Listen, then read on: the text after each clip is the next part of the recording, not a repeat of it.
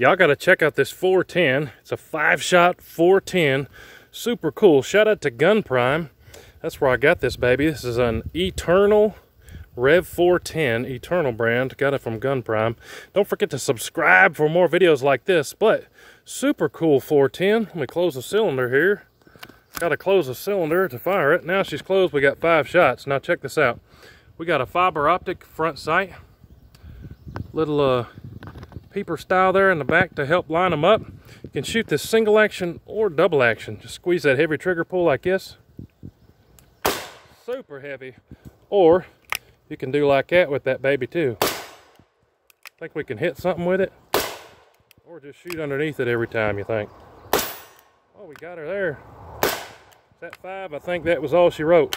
But super cool. Eternal Rev 410.